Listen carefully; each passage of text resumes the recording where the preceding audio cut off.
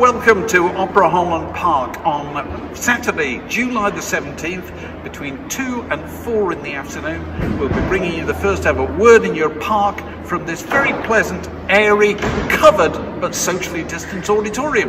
No, Word in Your Park is going to be a weatherproof event. We're under canvas, but we have taken the precaution of booking two hours of blistering sunshine just in case, and it's going to be us and some old pals of ours involved in two hours of rock and roll storytelling involving Gary Crowley, Lesley-Ann Jones, uh, Barney Hoskyns, and others to be announced. There'll be mood altering drinks available, and who knows, crisps. It's been a long, cold, lonely winter, so it'll be good to see you here. Get your tickets at the link below. See you there.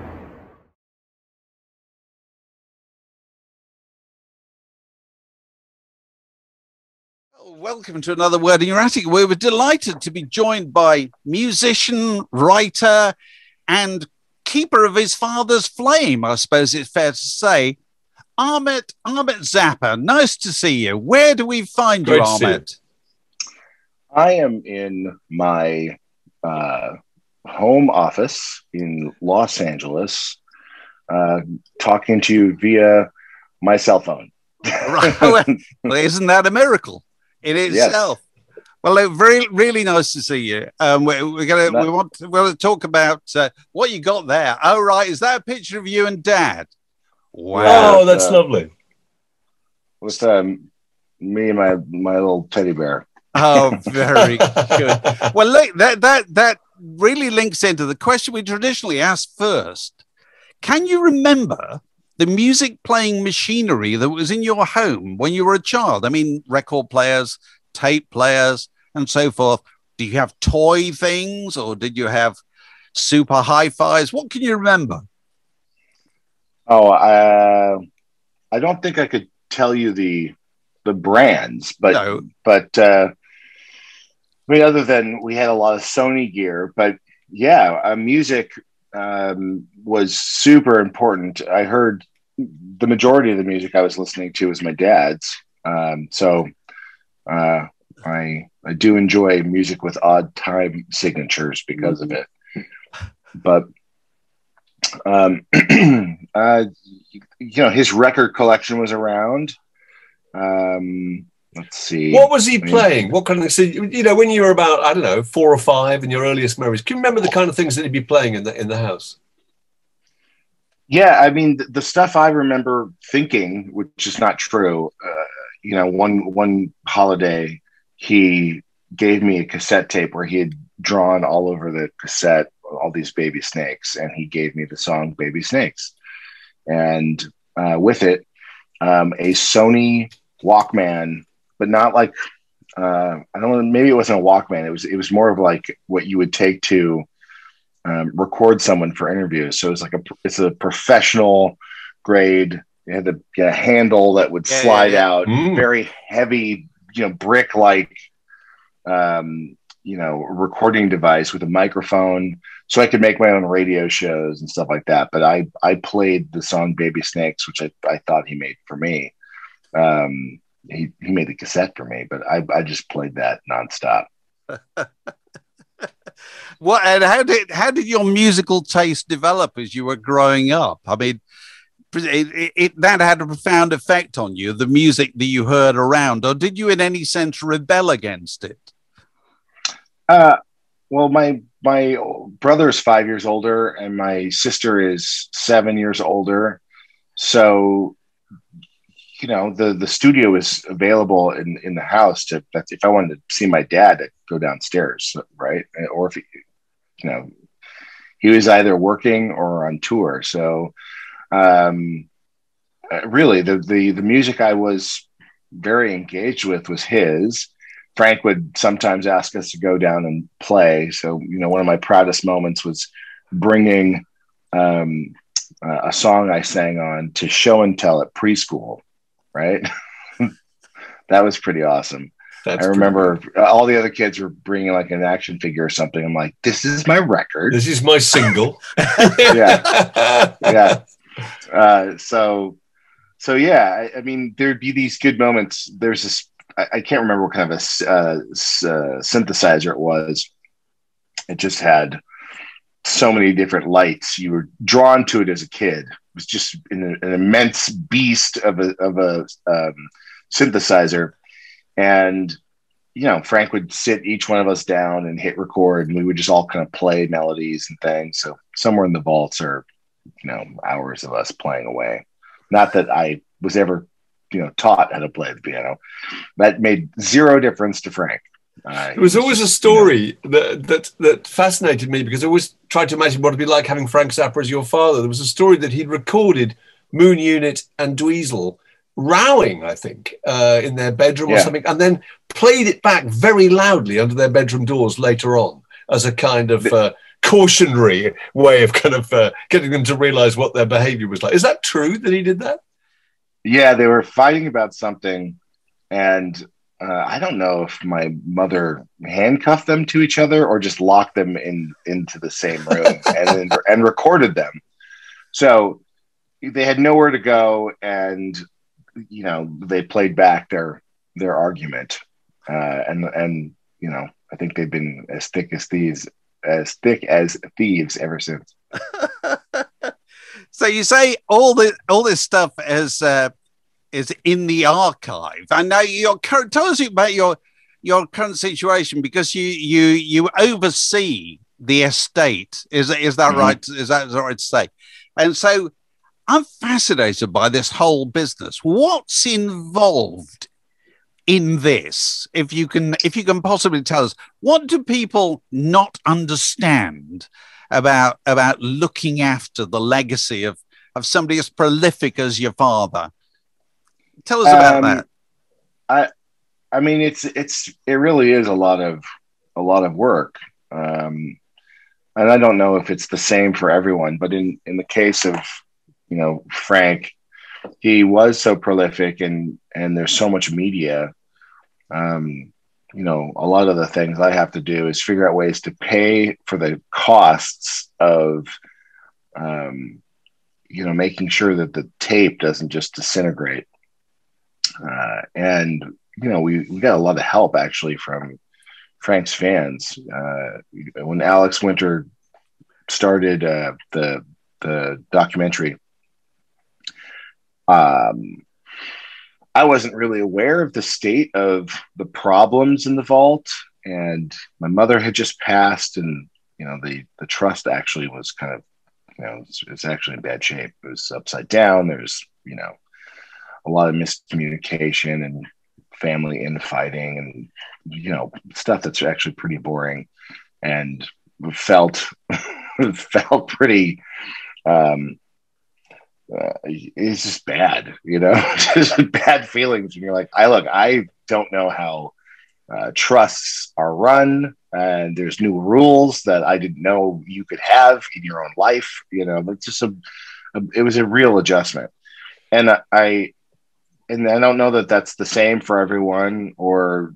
I'm sure there's some similarities, and I don't even know if I'm answering this question properly in the uh, answer. Give us some want, idea. Just give us some idea of the scale of the vault. I mean, h- how many recordings are we talking about? But I mean, how many recordings do you think you've got logged in there? I mean, it's it's it's between video assets and audio assets. I mean, yeah, it's, it's thousands, tens, that, tens. I mean, thousands. tens yeah. of thousands. And these yeah. are what? These are just experiments that he tried out in the studio. They were unreleased tracks. Are there any whole albums that he didn't put out? And what's the nature of it? Yeah, we're constantly, um, constantly discovering new things. Uh, it really runs the gamut because you can see something written on a on a tape box, and you don't know what's on it until you give it a listen. Um, some of it's more accurately, you know, uh, described on on the box, and then sometimes uh, just that description you feel is going to be the uh, the entirety of of you know that audio, but it goes in different directions. You know, so there's there are things that are pretty obvious like you know this will be a master of a particular record but then there might be an alt uh, version of these things so for a lot of the work I've been doing over, you know, for the past five years is I, I try to be as, as completist as possible. I think people have been enjoying at least my approach, you know, um, if if there's a popular record, if there's like an anniversary for something coming up, we we try to you know surround it with all of these other versions of of a particular track or um, one of the things I, I, I really liked was the uh, the Hot Rats box that we did. You kind of get a sense of how Frank assembled that record, um, and there's so much you know goodness in there. Uh, but a lot of a lot of the material that I work on, that's the fun part, right? Is you're like an archaeologist. I get to hear the odds and ends where Frank is talking or laughing, which is always a feel good moment. Mm, yeah. Um, Wonderful. You know, and yeah, those those are great. I mean, when you come across audio where it's him like walking through the house, um, you you know, I go right back to I'm like, wow, I it's crazy. I know where he's walking right now. I, I like I hear yes. a gate open and I'm like, that's bananas. I know exactly where he is in time and space. And I'm, I'm and, and you know, it's this it's a weird sense memory to know like oh he's about to walk into their bedroom and up I, that feels about right the amount of time it took him to get to like his bed and then start tickling my mom or my little sister's there. And you know you, you hear uh, there's a lot of that stuff which is priceless to me. I don't know if it'd be interesting to other people because it's so much silliness but um, there are those kinds of things. Again prepping the media and the stuff that we do for release that's that's all really creative fun but there's all this administration stuff that is you know more 90% of um, of the time. It's a lot of responsibility. And I, I you know i try to listen as much as possible to to the fans and try to get a sense of varying the kinds of releases that we have. You know, Zappa 88 being one of them, where I was like, wow, we, we haven't really done something in the from that time period in a while. And uh, yeah, so we, I have moments where I'll, you know, I'll put up the releases in my own kind of calendar and we can shuffle those things around because we try to do three to four, you know, big releases a year. And, you know, that kind of gives me a working framework so, you know, people ask me about things. I'm like, yeah, they're coming, and it's it hasn't been too often that we kind of change what we're, you know, what we're what we're deciding, but we're a few years ahead of the uh, of what we want to do. You know, presumably there are there are completists who who have absolutely all of it, who c- collect everything. There there are, which is which is I'm sure I'm a huge disappointment to you know people watching this right now. I don't know what they know. You know what I mean? They're, I'm, I'm sure you. I'm sure you're right. Educated. Yeah. yeah. Was yeah. Frank was Frank surprised? It always interested me when he when he was recording with Beefheart. Uh, they made a recording for Dot Records, I think. Were turned down and told they had no commercial yeah. potential. I remember he put that those words on the cover of Freakout, and I, I always wondered did he do that because he was resentful about the fact that he thought this did have commercial potential, or was he completely aware that his music was very very experimental and he was kind of lucky to find a backer? Which do you think? I I think the latter. I think he was completely aware. Yeah, I, you know, I, he he was inspired by the music in his head, and you know, and put it down. And some things made a record, or they didn't, or it, they didn't feel like they were, I guess, part of you know that moment of you know in time uh, but he just he never stopped writing music. He's never stopped recording music. He recorded so many of his concerts, and each night, um, which you know, the, I think the fans know this. We we put out records from the road, and there's so many different interpretations of these songs. And I'm often asked, like, "Oh, do you have a favorite record?" And you know, it changes, but but for the last couple of years, I, I go back to Philly '76 because there's this woman, Lady Bianca, who um, you know was in the band for a moment, and and hearing her sing songs I've heard sung by mostly you know men, um, and just the just the grooviness of the of 1976. It's mm. just an awesome record. So, you know, I, I'd love to put more of that out because um, we have we have more of it. So that's just on on like a personal bucket list, right? You know, I know. Have you have you are you noticing? Uh, you know, because presumably the the people who played on the records with him, certainly back in the day, will be passing on slowly. You know, and and so mm. the original fan base will pass on. Have you noticed it moving to a new a new generation? Is the, is this happening?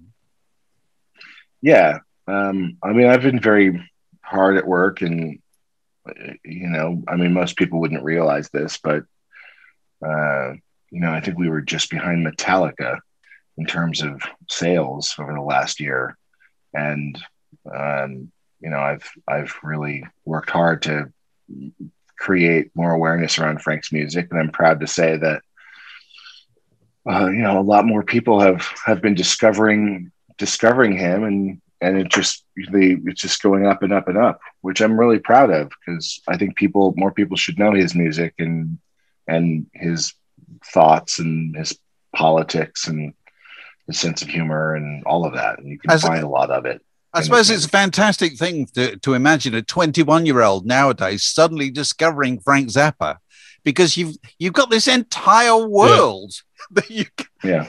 you can spend the rest of your life just You're going like discovering through. Marvel films. It's just, that's months of your life going to be taken care of. Absolutely astonishing.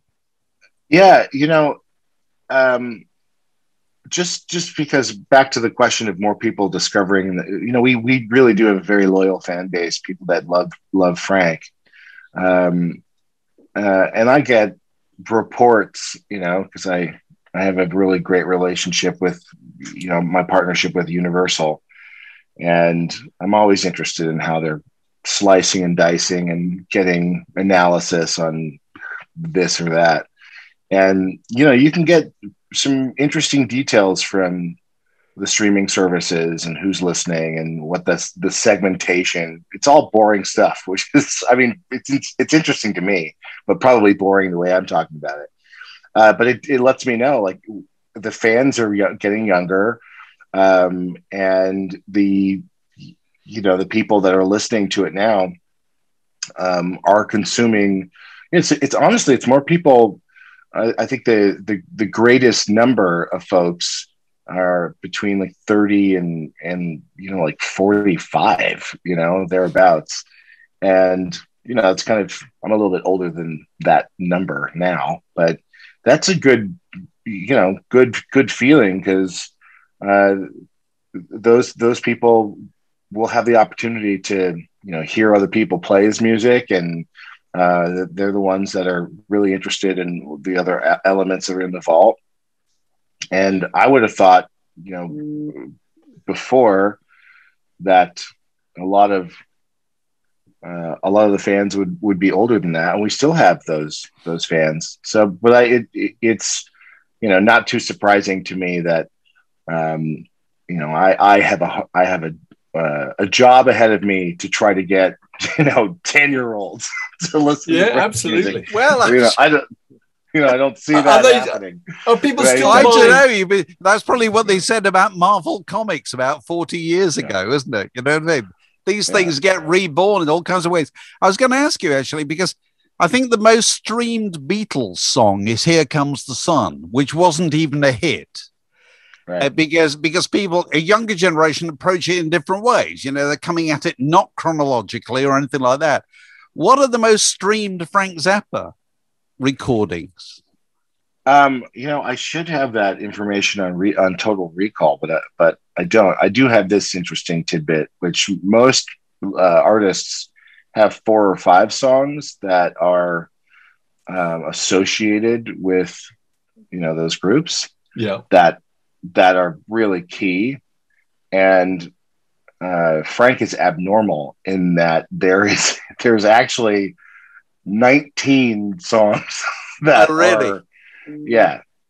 Um that are the most frequently played. It's it he he just doesn't fit into any mold right, uh, right. which doesn't which doesn't surprise me in terms of you know like the, the he's just made so much music. You, it's hard for me to recommend someone who doesn't know my dad. Uh, i'm like well what kind of music do you like so it's a different answer. If they're jazz heads, then I'm like, oh, all right, I can I try this, you know, or like I like classic rock. I'm like, all right, well, you know, try this. Do And- people still buy the albums? Do they still buy the the, the self-contained albums? Because when I was about products? twenty, the, The yeah, the, yeah. yeah, because the big Yeah. ones, I suppose, when, when we were young, were Hot Rats and Over-Nite Sensation Apostrophe, Yeah. Maybe Sheik Yerbouti, and those were the kind of seemed to us to be the big commercial ones. Are they still as popular now, or, or, or what's Yeah. Which ones are selling? yeah, those are those are still popular records, and and we really pride ourselves on the physical product that we make, and that's a very strong aspect of of what we do. You know, that really hasn't died off, and I can't speak for other artists, but you know, when people do talk about digital and streaming, and um, you know, we're my job is to try to grow that awareness for for people who consume music that way. But um, I just love that they're vinyl collectors and people who still want the physical, you know, product. Uh, you know, it just sounds better, and we put a lot of love, time, and energy into the things that we that we make that for physical re- releases. Um, so, uh, you know, I'm I'm happy that that we have that people respond to that for us. It's you know we have a again we're like archaeologists. We put so much detail yeah. and we try to be completist. And I like all that. We try to make everything really special. And then, you know, sometimes I'm like, all right, well, let's just let's just do something a little uh, a little easier because because it you know it takes so much time and energy to to, to do this. So you know you know when there's like just two two albums, then we're like, yeah, no, we needed a break Yeah, yeah. just for for, Yeah. for for this this moment in time. I was thinking today, I was just thinking that, that I couldn't think of anybody remotely like him. It's funny, there was, a, there was an interview with Bunk Gardner I saw once. Bunk Gardner said uh, we could play 300 songs at the drop of a Mhm. hat. This is the touring band. And he said he, we had to memorize it all because he wouldn't let us use music. And then he'd make these signs with his fingers saying whether we changed Yeah. from five eight time to seven eight time, just like that. And he would jump up in the air. When he landed up back down again, we'd have to start another song. Now, the amount of discipline in that one paragraph is absolutely incredible. It, it made me think, I, I, I- even in the worlds of jazz and, and soul, I couldn't think of a more demanding band leader, which is amazing. Yeah. Was there anyone remotely like him? I don't, I don't I don't know. I don't think so. I No, mean, it's easier to say No. I don't think so, but I, I really do try to think of uh, another person who's like that. I, I don't know if Prince had the same sort of rehearsal schedule. That's interesting. don't- yes. Yeah, I, I don't know. I know he was definitely recording all the time, but I, I don't know if it was the same sort of discipline. Um, and I, I like I, I I'm trying to just reassess how I categorize things too in my own life and in how I, you know, the questions are being asked of me, right? So, as an example, um, if when someone like that question, is there anyone else like him? The thing that I start immediately thinking uh, is, well, I go back to the time and and the way that people perceive how a band should rehearse, right? like how much time that they don't put into being extra creative or being masters of their instruments, right? So th- that becomes the the more interesting thing to me is like, wow, you know, people always talk about, you know, they rehearsed all the time, They're like really prepared, and then and then you listen to the concerts, they could they sound like they could be record releases. You want to know why? Is Mm. because they rehearsed the shit out of I don't know if I can swear. Sorry, they That's rehearsed the hell out of the music, and then you're and then you go, well, that makes sense. And then when people are complaining about it, you know, like, oh yeah, we had to rehearse all the time. Like, but you sound amazing. Yes, You know, like- Yeah. Like, you know, he wanted to get the best out of these people, and he did. So that to me is is a, also fascinating that that Frank, um, the, the players themselves, even though they played an instrument, they you know they themselves were instruments for him you know in in that he knew how he could push people to be the best that they could be and assembling that mix and being able to have them for you know for the way he wanted to hear something for his for for the audience entertainment amusement or just for him to be like i'd like to hear this piece of music that i've written a different way to be able to met like you know use your like a jedi you know like a i always say that frank was not a musician but a musician like a magical musician um uh you know that i think is really is really unique so i love the music i i, I think that um again, I, I, like when people discover his orchestral music. Certainly, the, you know the stuff that is more electrified with his rock bands. Uh, but he's so funny, and, and, the stories that he's telling are interesting because yeah. it's this point of view around subjects that are not about love songs. They're about you know things that happened to him or people in the band or what's going on in the world that are still relevant today. Um, so I, I think he's one of the most important artists of all time. No, but I'm biased, enough. right? Absolutely. Yeah. Can I ask one more question about his early life? There's an amazing incident in 1965 when he, he went to jail. When he he was yeah. he was uh, he was stitched up by a, an undercover vice squad officer uh, yeah. who commissioned him to make a whatever it was, supposedly a pornographic tape for a stag party, and was then arrested and put in jail. And it, it, appeared to have an amazing effect on his attitude to life and, and the world generally. He never trusted authority. He never trusted the establishment. Would you say that was true? Did you ever talk to him about that incident? Um, not not at length. Uh, I mean, we he he shared that information. I'm certainly aware of, of the, the circumstances. I mean, my opinion, I didn't ask him if like, hey, did this create a, a distrust of of uh, you know government? Um, I think it was more of an eye opener that people take advantage of yeah of you know people, and it's unjust, or it can certainly be unjust. And that I'm also really proud of. Like you know, so my my father to me is is an underdog in so many ways. You know, this is someone who's written songs that could easily be played on what is now like classic radio, but he mm. was blacklisted. You know, there's tons of music that that I think is very commercial. Not that he was trying to write commercial tunes. It's just my you know me as I as someone who really likes listening to classic rock. I'm like, it's just strange to me that my dad's music is never, you know, being played in that same um, context when they rock equally as hard. Yeah. And so my point in, in mentioning that is, you know, my, my father always had, um, he was colorblind. He, um, I mean, in terms of people in his band, um, you know, he didn't see race. He saw uh, people with immense talent and um, so I I feel like he had a sense of, uh, you know, how unjust things were that way. Yeah, so I, I I feel blessed that we were raised in a household with with different values and and very supportive of the arts. And my parents were very generous and very helpful to uh, a lot of folks.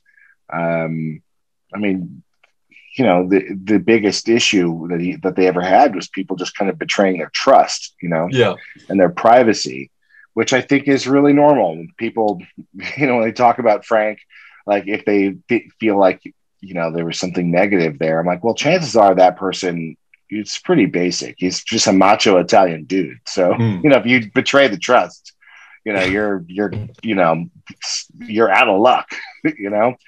Um but I don't know. I was going off on a tangent, but you know, there's as a father of two little ones. Uh, my son turned five yesterday. My my daughter is is ten. Um, I do reflect often on on what it was like having my parents as parents, and now that I'm a parent, um, you know, kind of, I can I can definitely feel where I make similar choices and where I have made different ones. You know.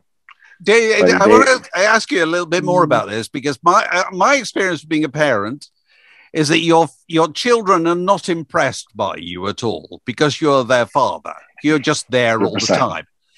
Yeah. Was it the same with Frank, or were you aware? My father is he's a bit of a legend. He's a lot of a legend, even then when you were small. Were you aware of this? Um, I mean, to me, my dad could have easily just been a plumber or a, um, you know, mailman or something like it, just because it was my normal, right? He played music, so I didn't know that that was some that was different. You know, I, I wasn't, I didn't have that feeling. But did he it, come and you pick know? you up from school or anything like that? I mean, he couldn't have looked like the conventional He, he dad. didn't do, he didn't do He that. didn't do any No. of that. He's No, too busy no. in the studio. Yeah, yeah. Uh, it was, I mean, if that that maybe I don't think it happened. I can't remember if it did, but maybe he was in the car. The idea of him, yeah, no, that, No, that, no, I don't. He didn't come Yeah, to I don't- school sports day, I no, it wasn't He. Uh, well, he didn't drive, so Oh, well, that would that. make a difference. um, but he could. I mean, he used to have a license, but he just decided, like, yeah, I'm never going to do that again. Like that was weird. That I was aware of. That was stranger than what he did for a job, actually. Um, so, you know, if we wanted to go somewhere, if my mother was gone, you, you know, Frank would just be there working, and he'd be just hanging out. In the, in a rare moment where he was taking a break or something, uh, you know, the only game I think I ever played with him was pickup sticks, which I really liked. And I used to be like, God damn it, he can keep his hands so steady. you know, like you can't. It's impossible to beat at uh, at pickup sticks, or at least that's what we call it. Is that called Mikado or something? You know, you know what I'm talking about. I, I know the thing you mean. Yeah, yeah, yeah, yeah. yeah. You let go and then Um, you pick up. Yeah. He, you know, he'd go to an occasional baseball game or a school play or something if we were, you know, playing sports, but it was very infrequent. Right. he we would go to the movies that i loved because my dad uh i you know i've always i think had uh, a certain uh, desire to um have a uh, easier time you know? So and i'm pretty i'm like a chatty chatty person anyways if you can't tell. So i be i would become friends with people like that work the door in a movie theater.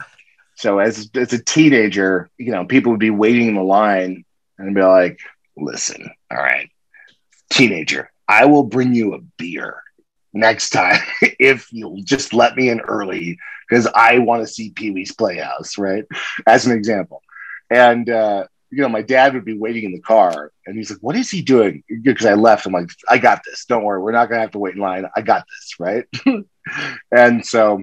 I'm like, "You- come on, we go to the same school, we play the same video games, the bowling alley. You know, so those guys like, all right, you know. So I'm like, okay, I'll be right back. And then, you know, my family gets out of the car. I'm like, you know, come on. We're like going into the back of the of the um of the theater. I just remember my dad uh like, who are you? you know, in, the, in that sort of a moment. It's like, see, I got you. I hooked you up. It's all good. Let's do this. You know? So yeah, parenting. what- yeah. Well, that that would th- those are the fun moments because they were so few and far between. And I'm like, wow, I'm going to a, a a movie with my dad. Where actually, like, I drove him, or that was so rare. That I mean, I'm make, you're making me think about that. I, I haven't thought about that in, a- in a long time. Um, yeah, funny. Because yeah, it- that- that- because he had a, a work that was so kind of all encompassing. It was like being a professional athlete or something like that. You know, that's what they do all the time, and it takes up an immense amount of time, doesn't it? I want I want to ask you about the the um you, you you've the documentary made by Alex Winter, which Yeah. came out in the in within the last year, uh, which is available to stream and so forth. Uh, and when they, he approached you about doing that, you said, "Well, that's going to take a long time. We've you know we've had approaches before. We've never done that kind of thing, and obviously that's come out. And you must be very happy with that. Is there anything else that you keep getting approached with, and you think, mm, no, I don't know, we we don't dare that do that. I don't know whether it's a stage show or a feature film or whatever the other. What are the Yeah. what are the what are the strange possibilities that you entertain? Um, I I mean, the things that people ask for that we don't kind of already, you know, do, um, and we're trying to be better at it, is having more um, you know orchestral pieces, scores that that people can um, you know rent or experience, and that's that's just a time consuming you know process and a costly process and certainly not my skill set. So there's very few people that we would trust with with you know giving them the music to contextualize it and, and to, to make the parts um, so i get asked about that you know um, pretty frequently uh, well i mean a couple times a year and we and we are we're going to make strides to to make more music available um, and easier for people to, to get who want to play Frank's music, which I want. You know that that's you know I think that people should um, have that uh, if should they just should they choose. Um, but you know the doc was something that was constantly being talked about. I think because it's it's easier, it's it's kind of less reliant in many ways on on the assets that we have, if that makes sense. Um, and because there's a lot of sources you can, I guess, pull things from. Mm-hmm. But it, but at least the meetings I sat in uh, with with my mother before Alex started the the doc, uh, it just wasn't the right fit. And you know, my mother would, I guess, bring me in to be another set of ears, and uh, so when Alex called me, because I'd known Alex for many years, asking if there why hasn't why hadn't there been a definitive doc, uh, I said, well, it's not for a lack of trying. The best I can do is is you know invite you up for tea with my mother, and you know we can really try to you know talk through this. And, and Alex is an exceptional filmmaker and human being. Um, he was very prepared. He really instinctively knew what he wanted to do, and that that really resonated with my mother. And, you know, it, it did take a while. We had so many starts and stops and ups and downs. One being my mother passing through the process. But, uh, you know, I love the movie. I think he did a great job. I think it's really honest. And that was for my mother and I, we're like, look, with the movie that you want to do, which we're, you know, we don't like censorship, so we're not going to even censor ourselves. And we wanted to make sure that people understood that even though if we're involved in it, it's not something that you know we're we're trying to. Um, it's not a puff piece, you know. We, we it was really important for us, like warts and all. But if we had one thing that we hoped that Alex would do, was to try to contextualize the life of a composer, you know, and and you know, get, Alex is very confident filmmaker and really had strong feelings and and and um, you know the media really helped dictate and shape the story for him. So once he had all this access, it it it it, it allowed him to go into different um, you know areas with with the story he wanted to tell, and you know I just I'm really proud of the film. I know my mother would be proud. I think my my dad, not that he, you know, would like his ego stroked in that way. Someone making a biopic on him, you know, uh, I don't think he would do something like that in you know in his lifetime. Like, yeah, someone should make a movie about my life. I don't, that, I don't, I don't see that being those words in that way coming out of his mouth. But I do think he would be proud of of of, of the film. Um, I, I mean, I, I love it. So. Again, I'm biased though. No, that, that's fair. You're allowed to be biased. Let, let, let, uh, let's uh, thank you very much for talking to us. What we traditionally do now, I know you don't have any stuff around you here. We always ask people to tell us what's the best mm. record ever made. But in your case, what do you think is the best Frank Zappa record? If you had to choose one, you've mentioned 76 earlier on. Is there anything else? Well, I can show you a few things. Oh, go on. What you got? Stupidly, I'm sure someone sent me the information about, uh, you know, what you what you do on the show. But here's here's uh, so the red one was my dad's, and the blue one was mine. Oh, wow. oh, that's lovely.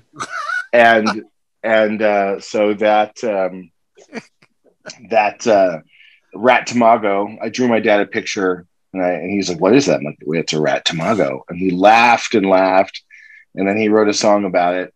Uh, and so then we had our matching shirts. You know, that kind of gives you a little context of what a like huggy bear kind of a guy he was. Uh, my middle name is Rodan, named after you know, Oh, brilliant. uh, one of the monsters. Yeah. Um, so I don't know. I can show you this if you, you know, this is before he passed. I don't know if you can check that out. Can you read that? I can't. I can see. Not I can see the What letterhead. I can't see. Uh, It just dear, it's dear the letterhead. Oh, right. Okay. Yeah. Can you see that? Dear Ahmet, I love you, your dad. Ah, Oh, that's so sweet. That's lovely. Yeah. that's beautiful. Didn't you write a song with him once? A rat tomago. Right, tomorrow. Oh, that, that one. That's and the then one. Uh, I thought there was one called Frog Frogs with Dirty Little Lips. that one too. Yeah. What's the? How was it writing a song with your father? How, what was the process? And It's just storytelling. He's more like the Inquisition. You know, once he started laughing, he wanted to kind of go down. Um, you know, mine, mine the laughter. Yeah. So I, I always like to say that comedy was a currency in our household. You know, I love to make him laugh. So Yeah. you, you know, that those were the moments that would then turn into songs. Yeah. So, you know, like that's how frogs with dirty little lips. He, I was given, I think it was by a guy named Muzzy, right? Muzzy gave me a red bucket filled with tadpoles, and I mean, like hundreds and hundreds of like swamp water. And I was like, what is this?